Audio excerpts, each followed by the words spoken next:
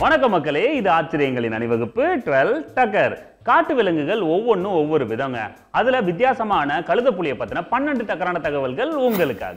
கழுத புலிகளோட ஆரிஜின் அப்படின்னு பாத்தீங்கன்னா ஆப்பிரிக்காங்க. பெரிய தலை பெரிய வாய் அப்புறம் சின்ன பின்னங்கால்கள் பெரிய முன்னங்கால்கள்னு இது பார்க்கறதுக்கே வித்தியாசமா இருக்கும். ஆனா ரொம்ப டேஞ்சரானதுங்க கழுதன்னு இருக்கே அப்படின்னு சொல்லிட்டு பேப்பரை நீட்டினீங்க. பேப்பரோட சேர்த்து கையையும் தின்றும். கழுத புலிகள் மொத்தம் நாலு வகைப்படுங்க. அதுல முதல் இது பாத்தீங்கன்னா பிரவுன் கலர்ல இருக்கும். ரெண்டாவது சிறுத்தை மாதிரி உடம்புல புள்ளி புள்ளியா இருக்கும். மூணாவது புலி மாதிரி உடம்புல வரி வரியா இருக்கும்.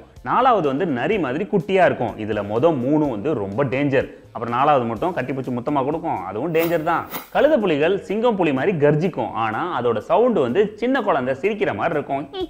இந்த மாதிரி தான் இருக்கும். இது அழகா க்யூட்டாக இருக்கே அப்படின்னு சொல்லி நம்ம பக்கத்தில் நிற்கக்கூடாது அப்படி அது சவுண்டு கொடுத்துச்சு மற்ற கழுத புலிகள்லாம் ஒன்றா அசம்பிள் ஆகிடும் அப்படி அசம்பிள் ஆச்சுன்னா எவ்வளோ பெரிய மிருகமாக இருந்தாலும் காலி பண்ணிடும். கழுத புலிகள் பார்க்கறதுக்கு நாய் மாதிரி இருந்தாலும் அது தேவாங்க இனத்தை சேர்ந்ததுங்க.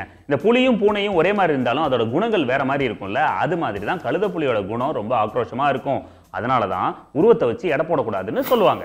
உடம்புல சிறுத்த மாதிரி புள்ளி புள்ளியா இருக்கிற கழுத புலிகள் வந்து வித்தியாச வித்தியாசமா சவுண்டு கொடுக்கும். உதாரணத்துக்கு பாத்தீங்கன்னா மற்ற கழுத புலியை மீட்டிங்க்கு கூப்பிடும்போது ஒரு விதமான சவுண்டு கொடுக்கும். மற்ற குட்டி கழுத புலிகளை மிரட்டுறதுக்கு வித்தியாசமா ஒரு சவுண்டு கொடுக்கும். அதாவது வாயை வச்சு தான் பொழப்பு நடத்துது. உடம்புல புலிகள் மாதிரி வரிகள் உள்ள கழுத புலிகள் வந்து தன்னை அட்டாக் பண்ண பெரிய மிருகங்கள் ஏதாவது வந்துச்சுன்னா எதிர்த்து நின்று தன்னோட உடம்ப பெருசாக்கி அதோட உடம்புல இருக்கிற முடியெல்லாம் அப்படி நட்டுக்கிட்டு நிக்கிற அளவுக்கு ஆக்ரோஷமா பார்க்கும். ஆனா இது வந்து அடுத்தவங்கள பயமுறுத்தத்துக்கு இல்லை. இது பயந்ததுனால இந்த மாதிரி ஒரு எஃபெக்ட் வருது.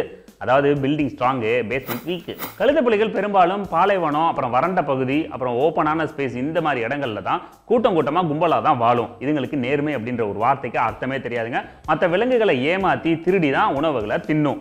இதுங்க பாவம் புண்ணியமே பார்க்காது. உடம்புல புள்ளி புள்ளியாக இருக்கிற கழுத புலிகள் ரொம்ப ஸ்ட்ரெயின் பண்ணி வேட்டையை ஆடாதுங்க. பகல் ஃபுல்லாக ரெஸ்ட்டில் இருக்கும். அதாவது தண்ணி இருக்கிற குட்டை அப்புறம் வந்து ஈரப்பதம் இருக்கிற இடமா பார்த்து அது உட்காந்து ரெஸ்ட் பண்ணும். நைட்டில் தான் அது வேட்டையாடும். அப்படி எனர்ஜியை சேவ் பண்ணி தான் சண்டைக்கு போகும். சிங்கங்களும் கழுத புலிகளும் ஒரே மாதிரியான நிலப்பரப்பில் வாழும். இதனாலேயே இதுங்க ரெண்டுத்துக்கும் அடிக்கடி சண்டை நடக்குங்க. அது மட்டும் இல்லாமல் சிங்கம் வேட்டையாடி வச்சிருக்கிற உணவுப் பொருளை கழுத புலிங்க வந்து திருடிட்டு போய் சாப்பிட்ரும் இதனாலேயே கழுத புலியை பார்த்தா சிங்கம்லாம் கழுத்து மேலே அடித்து அனுப்பிவிடும். ஆனால் சிங்கம் தனியாக மாட்டுச்சு கழுத புலிங்க எல்லாம் சேர்ந்து ஒன்றா அட்டாக் பண்ணும். ஆள் பார்த்து அடிக்கணும். கழுத புலிகளை காட்டோட துப்புரவாளர் அப்படின்னு கூட சொல்லலாம். ஏன்னா ஒரு உணவு அதுக்கு கிடைச்சதுன்னா அது எவ்வளோ அழுகி போயிருந்தாலும் அதோட பல்லு எலும்பு அதோட கொம்பு வரைக்குமே சாப்பிட்டு காலி பண்ணிடும். அது வாயா இல்லை கிரைண்டரா? ஆண் கழுத புலிகளை விட பெண் கழுத புலிகள் உருவத்திலையும் சரி எடையிலையும் சரி நல்லா பெருசாக இருக்கும். அதனால பெரும்பாலும் பெண் கழுத புலிகள் தான் வேட்டைக்கு அதிகமாக போகுங்க. அதுங்க எடுத்துகிட்டு வர உணவை ஃபஸ்ட்டு பெண் கழுத புலிகள் அப்புறம் குட்டி கழுத புலிகள் இதுங்க தான் சாப்பிடும். அதில் மிச்சம் மீதி இருந்தாதான் ஆண் கழுத புலிகள் சாப்பிடலாம்.